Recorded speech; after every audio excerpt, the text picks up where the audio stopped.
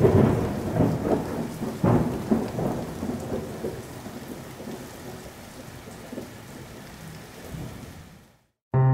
các bạn. Trước tiên, Tôi xin rất là cảm ơn và chân thành sự cái đồng tình và sự tham gia của các bạn thành viên trong hội Aikido đã đến chia sẻ những thông tin và những hình ảnh rất là quý báu, những kinh nghiệm, những trải nghiệm, giúp cho mọi người có một cái cách nhìn tốt đẹp hơn về cái bộ mặt Aikido. Nhưng đồng thời đó, tôi muốn nhấn mạnh cho các bạn biết rằng cái tiêu chí của hội quán là tìm ra những cái sai và những cái ảo trong Aikido để đem ra mà phân tích, mà tìm ra những cái phương pháp và những giải pháp, phương pháp nào tốt nhất để chúng ta có thể học và phát triển cái tính thực dụng của nó ở đây, có một số thành viên chúng ta đã lầm lẫn giữa sự phân tích và nhận xét thành những câu là đã kích và chê bai. Ở đây, tôi xin nhấn mạnh, các bạn dù cho các bạn hiện đang mang một cấp đai nào cao nhất trong Aikido, ở ngày xưa hoặc ngày nay, hoặc là các bạn là những huấn luyện viên có tiếng ở nước ngoài, hai bạn là người Nhật hay là các bạn là một cái cao thủ có danh trong Aikido đi nữa, khi các bạn tham gia hội quán thì các bạn cũng vẫn là những thành viên của họ. Không biết bạn đúng hay sai, nhưng khi bạn có cái những, trình bày những cái điều gì đó nó không hợp lý, thì tôi vẫn đem cái đề tài của các bạn ra mà bình luận và phê bình để tìm ra những cái giải pháp chính xác dễ hiểu, dễ học và dễ đánh. Không có phải là tôi biết, tôi rất biết, có nhiều bạn vì thần tượng cái cái người của mình. Hoặc là có cái nhiều cái bạn có những cái cái suy nghĩ rất là nhạy cảm. Họ sẽ cho là đây là đã kích aikido, nhưng mà hay là chê bai các bậc tiền bối thưa các bạn, nếu là đã kích aikido thì tôi không cần phải làm cái clip này làm gì. Và chỉ cho các bạn những cái phương pháp đánh. Tôi đã từng đem những cái clip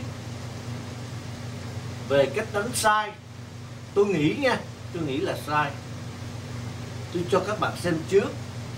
Sau đó tôi sẽ tìm ra một cái clip để đối kháng với để cho các bạn so sánh giữa cái đúng cái sai để mà các bạn phân tích và nhận định có nên tập theo dạng này hay tên khác.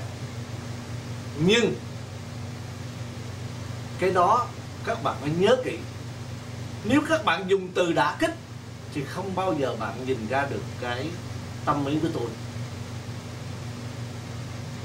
Mà bạn chỉ nhìn ra được cái ác ý của bạn đối với tôi. Cho nên, tôi khuyên các bạn, nếu các bạn nghĩ vấn đề nó tốt, nó tích cực hơn và thiện ý hơn, thì cái việc tôi đưa một cái clip, phải có một cái clip nào đó người ta đánh sai thì các bạn mới nhìn ra được sai như thế nào và đúng như thế nào. Chứ nói không ai đâu ai hiểu. Mà khi bạn phân tích, thì tất nhiên là có những cái phân tích trái chiều nó gây gắt một chút. Nhưng phải có câu trả lời. Nếu câu trả lời nó không thỏa đáng thì các bạn có quyền có ý kiến. Nhưng các bạn không chịu, không kiên nhẫn. Thành ra cái vấn đề trở nên nó không có hội ý. Tốt đẹp. Đâm ra có sự đối kháng. Mà các bạn thường nói với tôi rằng, Aikido là một môn võ không bao giờ có sự đối kháng. Nhưng thật sự các bạn, khi các bạn phân tích, các bạn đối nhau, đối đầu với nhau, các bạn hơn thua nhau, đó là các bạn đối kháng rồi. Thì đừng nói với tôi à quên nữa, tôi xin nhắc với các bạn. Khi các bạn đến hội quán làm ơn, tôi chỉ chú trọng về kỹ thuật. Kỹ thuật và cách đánh, cái phương pháp. Và những thông tin hữu ích. Xin các bạn đừng đem những cái lý thuyết, những cái đạo lý, cửa phật hay là những cái đạo khổng tử, hay là kinh thánh gì? Đạo làm người gì ở trong đây? Cái đó tôi không có khả năng để mà phân tích, vì cái đó có nhiều người nói là do các bạn. Một số cao thủ Aikido, tìm đến Aikido là do chân thiện mỹ. Đến Aikido tìm chân thiện mỹ. Xin các bạn quên đi các bạn đã sai lầm khi Aikido có sao tất cả các môn phái khác. Thành ra khi mà cái chân thiện mỹ đó là nó xuất phát từ các môn phái khác, không phải chỉ riêng gì Aikido mới có. Và chân thiện mỹ ở đây, các bạn tôi nhớ, rất là khó, ai mà đạt được. Thành ra các bạn, khi mà bạn nói tới nó là các bạn phải nhớ ngay tính mình trước đã. Cái bản thân mình, cái bản chất của mình, nó có thiện mỹ hay chưa? Nó có chân thật hay chưa? Hay là các bạn khi mà bạn nói chuyện với người ta, bạn, các bạn luôn luôn đeo cái mặt nạ mà không biết mệt mỏi? Cái đó là cái cái cái mà đáng lo hại, lo sợ. Bởi vì cái đó là một cái vấn đề rất là bao la. Chúng ta không nên đề cập đến nữa bởi vì có nhiều người khi, cả khi bước một chân và quan tài rồi cũng chưa tìm được ra được cái chân thiện mỹ của họ nữa. Sống cả đời, cả cả lục còn chưa được đâu. Thành ra các bạn đừng đem cái đó ra để mà lý thuyết khi các bạn chưa đạt, chưa được cái gì một trong ba cái đó nữa thì các bạn đừng bao giờ lý luận. Vì một số anh em đã lầm lẫn. Tôi đã từng nói với anh em trong Aikido rồi. Chúng ta không nên học lý thuyết chứ. Bị một số người học lý thuyết, họ đã sống ở trên cung trăng không à? Nói chuyện ở trên cung trăng không? Họ quên đi thực tế. Họ chưa đạt được. Cũng như một số người, khi đến với Aikido, tôi dặn các bạn là cái kỹ thuật, cái cách đánh của các bạn nó sẽ giúp cho các bạn đánh hoàn chỉnh. Rồi cái sự hoàn chỉnh đó, cái kỹ thuật đó, bạn đánh nhiều lần, phối hợp với cái sự hơi thở của bạn, nhịp nhàng, thì bạn sẽ đánh cái đòn đó nó nhẹ nhàng, uyển chuyển và không mệt chứ không phải là bạn đi ngồi mà luyện thành mà nói đây là cái kỳ của aikido. Đa số những ông thầy mà nào nói đến kỳ trước là tôi thấy tẩu quả nhập ma rồi. Bởi vì có nhiều người học tính nội công tâm pháp phải cả năm trời, cả mấy năm trời, cả chục năm trời mới được. Các bạn mới có mang cái đai cấp tay aikido. Mà cấp tay aikido phải chi các bạn học dữ dội như vậy ghê gớm lắm kìa. Thì bạn nói chi được còn có thể là tinh tinh một chút thôi. Nhưng bạn chưa đạt được đâu. Thành ra đừng nói. Chưa đạt tới nơi thì đừng nói. Nói ra thì kẹt lắm. Không ai tin được. Giống như các bạn mang một cấp đai đó. Cái cấp đai trong aikido, nó chứng tỏ gì? Chỉ cần một câu hỏi tôi hỏi bạn.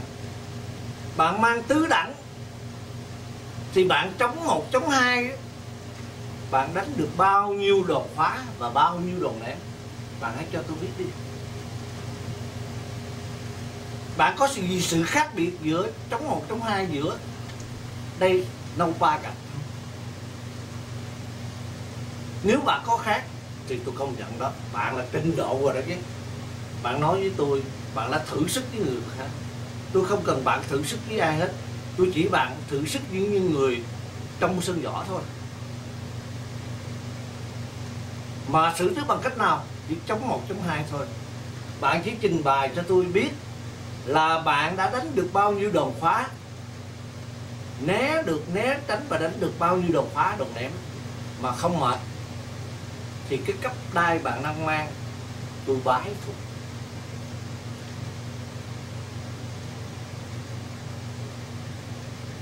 Cái đó chỉ có cái đó thôi. Tôi chưa, tôi nghĩ các bạn chưa thành công thành công được. Chứ đừng nói bạn đang mang tứ đẳng, ngũ đẳng, sáu đẳng gì.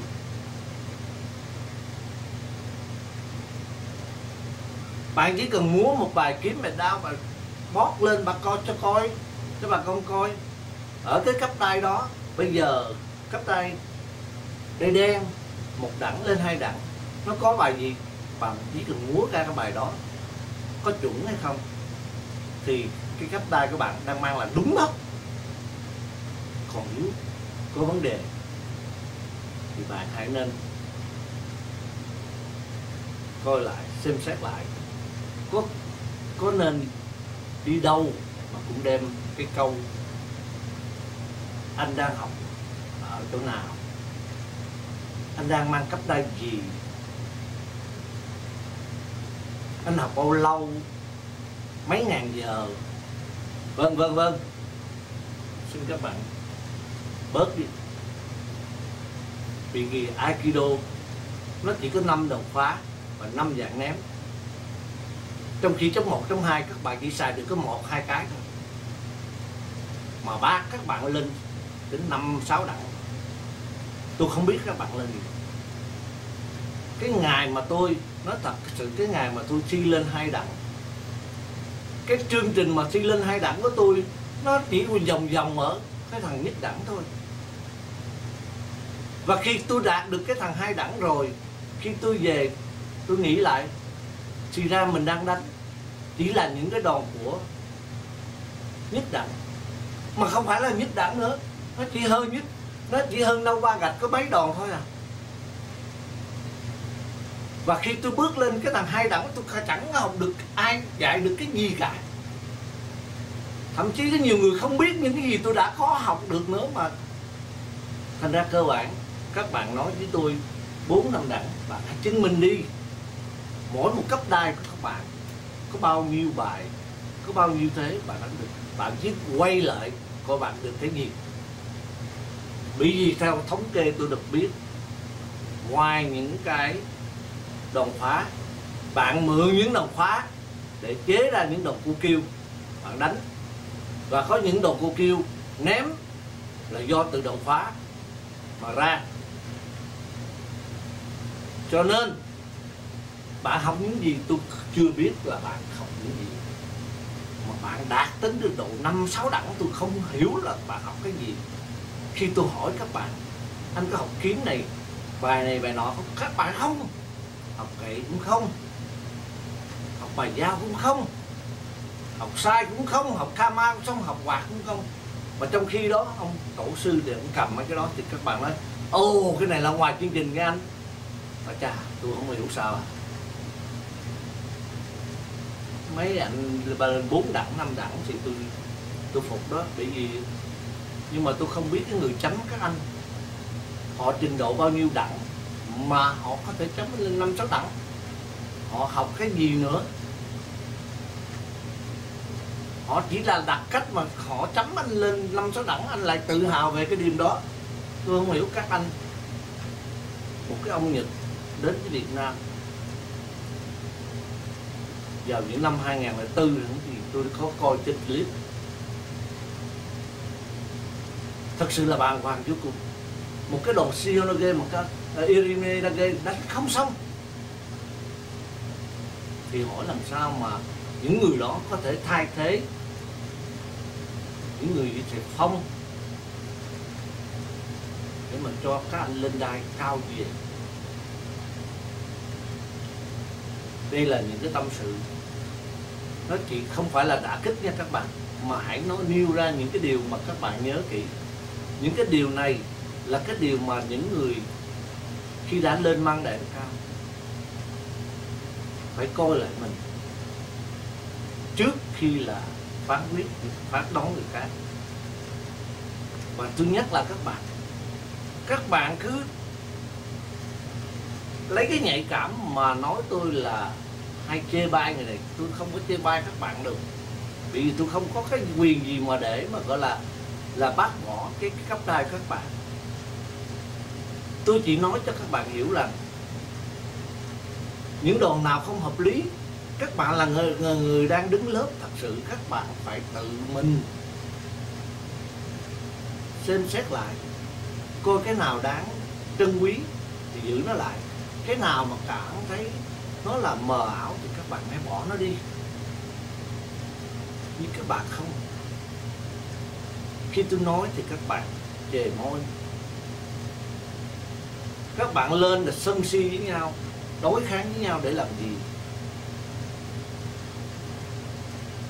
Các bạn làm cho tôi cảm thấy nhói trong tim khi tôi đang cố gắng đem các bạn xích lại gần nhau, thì các bạn lại phủi tay một cách dễ dàng.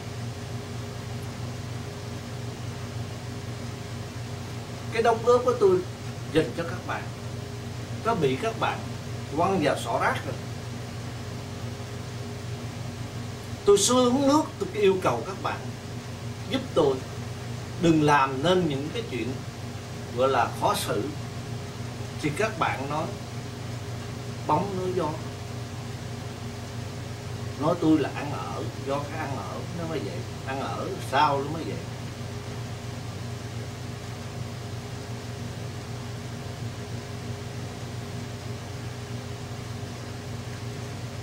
Khi mình nhiệt tình mà người ta nói khi mình nhiệt tình mà không có suy nghĩ, đúng là ngu dốt. Mình làm cho người khác hưởng mà người ta không bao giờ trân quý. Mà lúc nào cũng hễ làm phật lòng cái là tìm đủ mọi cách để mà có xấu. Tìm mọi cách để mà chăm biếm, để làm gì các bạn? Cái đó đâu phải là cái mục đích cao quý của aikido các bạn đâu. Các bạn mở miệng ra nói chân thiện mỹ, nhưng các bạn nói châm biếm hết người này người nọ thì là cái điều đó không có đáng. Bạn đến đến hội quán bạn vui vẻ, tôi vui vẻ, thì tôi tìm được những cái thông tin tốt cho bạn. Và nhiều người khác cảm thấy cái mục đích này nó rất là cao cả, người ta sẽ ủng hộ và người ta có những cái thông tin gì hay hơn nữa thì người ta sẽ đổ sâu vào. Chúng ta cùng hợp tác với nhau. Thành một cái một cái cái cái cái, cái gọi là cái hội aikido gọi là lớn mạnh. Nhưng không. Các bạn chỉ vì một cái một câu nói lỡ lời của một người khác rồi đâm ra cấu xé để làm gì? Chuyện gì cũng có thể giải quyết được. Nó đâu có phải là quan trọng. Có thể một người phát biểu nó hơi nặng. Tí thì mình hãy để nó qua một bên đi. Cái chủ yếu mình đến hội quán là để làm gì? Để tập luyện aikido. Để học hỏi những cái kỹ thuật, những phương pháp hay hơn. Để có những cái óc nhận xét về một cái đoàn thế trong aikido nó chuẩn hơn. Đó là cái yêu cầu của hội. Mong các bạn hãy mở lòng ra đến với cái Aikido và một cách nhìn tích cực hơn. Không có tiêu cực. Không có sân si. Các bạn khoe. Các bạn. Bạn bót lên là những cái gì để học tập. Chứ đừng, bạn đừng bót lên những cái mà đánh bóng các bạn thân bạn.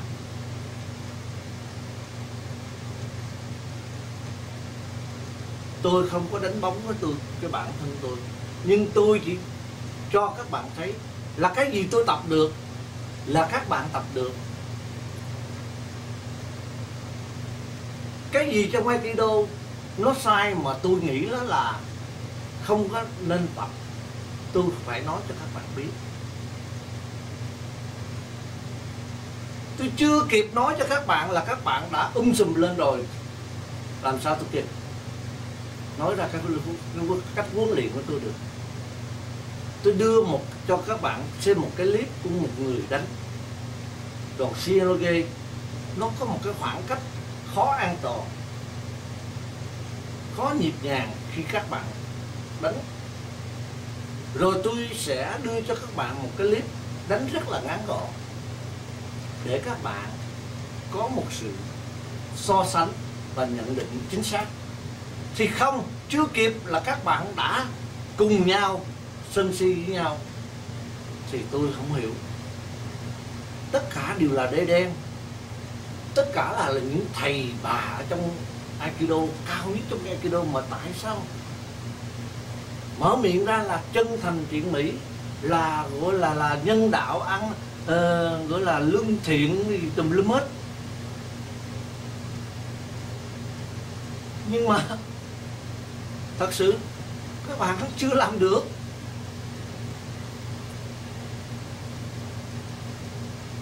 Tại sao tôi chưa đóng cái hội quán. Bởi vì tôi thấy còn một số người rất tha thiết được muốn biết được những cái hay cái cần phải học. Vì họ đam mê Aikido giống như tôi ngày xưa tôi đam mê Aikido. Nếu tôi không đam mê Aikido, làm sao tôi hiểu được một số chi tiết mà nói cho các bạn? Tôi nghĩ là cái vào cái thời điểm mà các bạn hiện giờ, trước kia tôi còn hơn các bạn rất nhiều cái niềm đam mê của tôi, các bạn không biết, không thể nào mà diễn tả. Và các bạn để mà nghe tôi kể rồi thì các bạn còn phải nói là bái phục luôn. Tốn tiền, tốn bạc thì muốn gì vậy kilo bỏ việc làm cũng vì vậy kilo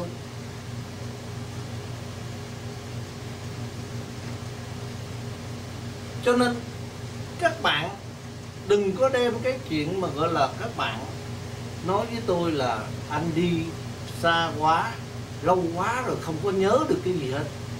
Dạ thưa anh dạ thưa các bạn.